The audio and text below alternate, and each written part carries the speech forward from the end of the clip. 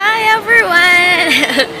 yan, so nandito kami ngayon sa airport. Yan, Terminal 3 na iat 3 yan.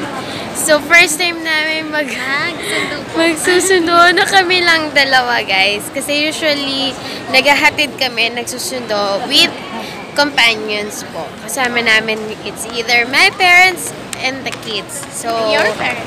Your my! Ah, our parents pala, sorry. sorry. Our parents pala, yan. Ayan, bungis-gis na naman po siya, guys. Yan. So, tinan mo, hindi mo lang tayo nagdala ng monopod. yan, sorry guys, sa pinagtitinginan na tuloy kami. First time talaga namin guys, so maghahanap kami ng, ng chair. Ayoko talaga ng, anong Tagalog eh. Chair. Chair. Gusto niya po English kasi. Upuan. Yes, so maghanap kami ng upuan. Kasi ang dating pa ng aming kapatid ay, amin na, aming kapatid. Four pa. Or pa, masyado po kami maaga. Yes. So, pinagtitinginan talaga kami, guys. Yan. So, later na po ulit. Ha? Maghanap po na kami ng Upuan po. upuan. Wait lang. So, hi! Ayan. So, ngayon, guys, nakahanap na kami ng upuan. Hi, guys! Ayan.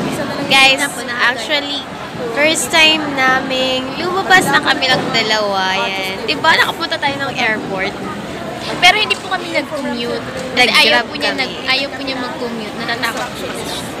Baka mamaya ma-hold up tayo, diba? Kala mo naman kadaming pera. Ayan. So, Sa tawag guys. Yan, guys. First time talaga namin pumunta.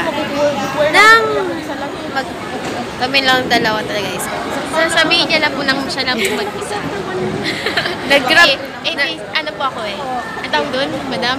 ano? Nag-grab na lang kami, guys. Ayan. Ayan na, guys. Airport. Yan. Mamaya, papakita namin ng each room Tapos airport. kapag Yes. po ano, um, pag nag-flight din po kami this week. Kasi Vlog guys, pupunta sila sa Korea. Yan. Next Pag-vlog ko po para No, sa mga... hindi next week. This week. This week, uh, this uh, coming Wednesday. Iba-vlog ko po para sa mga... Iba-vlog niya para sa mga supporters. subscriber ng aking Madam Des. Madam Liz.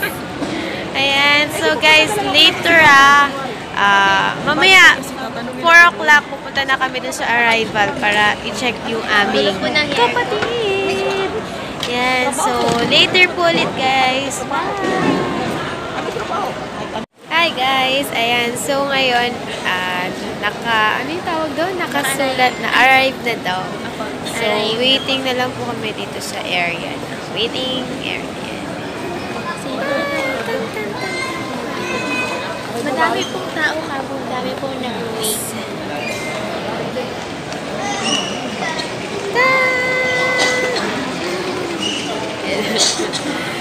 Nilalambing na ako guys si... Sobrang lam... nilalambing ako. See you next time guys! Bye!